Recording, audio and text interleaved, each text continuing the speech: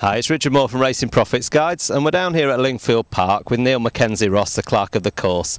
And we'll move on a bit to the all weather if that's okay, Neil. Um, the Polytrack here obviously is your busiest um, surface that, through the year, around 70 odd meetings. Um, and you've just had it relayed, haven't you? You had a new Polytrack surface last year? Yeah, we put uh, new Polytrack down um, in September this uh, in 2012. So yeah, a few months old now, having its first winter under its belt, and, and so far so good. So far.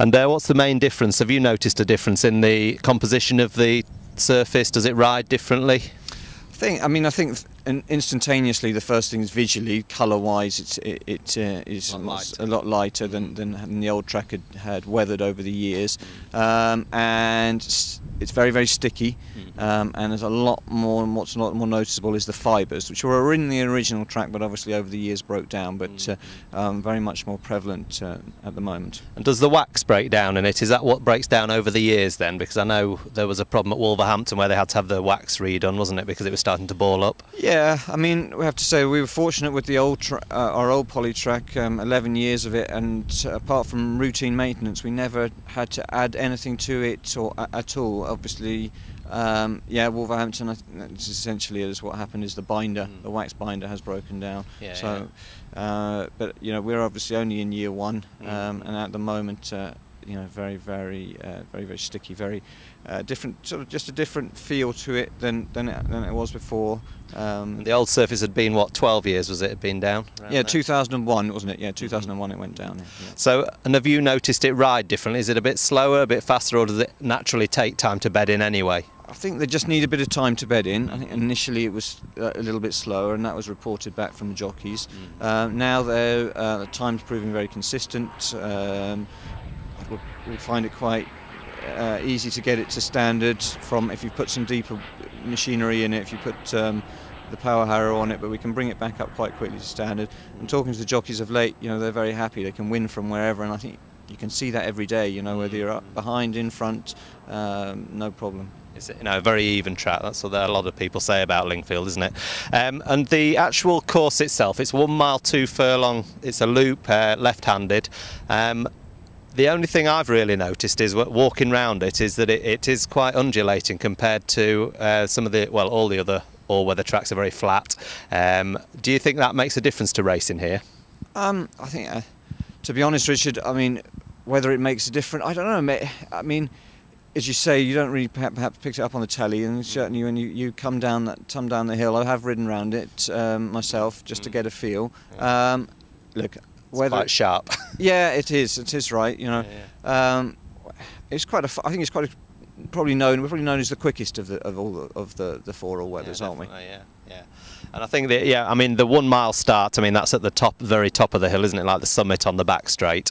Um, so the one mile, seven furlong, six furlong, and five furlong. You'd say they're all downhill, aren't they, as you come out of the stalls? Yeah, exa- exactly. And then you, you know, uh, sort of tight. It's quite tight bend, isn't it? Um, up by the five, uh, you turn around and then you're swinging down the hill, um, and round the round the turn into the home straight. Yeah. And uh, the longer races, obviously the the longer distances. What's the longest race you do here? Two miles, is it? Yeah, two miles is, is the longest. Um, potentially you could do more, but obviously there wouldn't really be the, the demand for those sorts of races. So then you'd have to actually go from the, from the finish line that that slow climb up to the summit there on the back straight. Yeah, absolutely. I mean, the two mile start is um, is from the six uh, um, six furlong start. You know, I mean, and then otherwise you, the uh, mile and a half down in the chute, uh, just off the just off the uh, final bend. So yeah. So they, do you think they're a bit more stamina sapping here than they would be at say Kempton or Wolverhampton? It's a good question, Richard. I'm, I, to be honest, I, I'm- I'm probably probably not best positioned to answer it. I don't know. I mean, it's a quick, tight track, really. So whether they are more steady track, I mean, sort of fast surface. A question for um, George Baker and Co. I think. I'll ask one of the traders that, yeah, definitely. So um, the big races of the year, um, you said the winter trial in the Winter Derby trial, is it, or the, just the Winter Derby that you call it in March? Yeah, Winter Derby in March. That's right. Yeah, preceded by the Winter Derby trial uh, towards the end of February. Uh, but yeah, Winter Derby's got uh, the Hever Sprint Stakes on it, um, and also um, the Spring Cup. As well. So you know, three decent races, two listed races, and Group Three. And who's the um, jockeys that you look for here? Do you think there's some good jockeys riding here? I know Joe Fanning's very good here. Yeah, Joe is. Um, uh, George Baker, another one, another one. I think Jim Crowley d- very much, and then Adam. I mean, this this winter, Adam Kirby has been by far and away the man to, to follow, hasn't he? He seems to have it miles ahead in the in the all-weather jockeys, isn't he? Yeah, I mean, he's been riding around here absolutely amazingly. You know, he's been two or three winners every day, hasn't he? And do you think the um, the tactic then is to, to hold up and then come off that last bend, or do they tend to, uh, you know, does it tend to suit a front runner here? I think certainly in recent years the jockeys that is what they've been planning to do and come off that bend into the sort of middle of the track. For that's not to say that I would say you're any disadvantage by going on the inside uh, or anywhere else for that matter. But it seems to be they're about to right, swing off that bend and, and come down the middle. However, as I said, I think with the new surface of late, um, considering it's how how you know how very much it's in its infancy, uh, certainly you've been able to win from from anywhere of late. Yeah, and that's uh, that's what you want, isn't it? Fair racing, that's the main thing.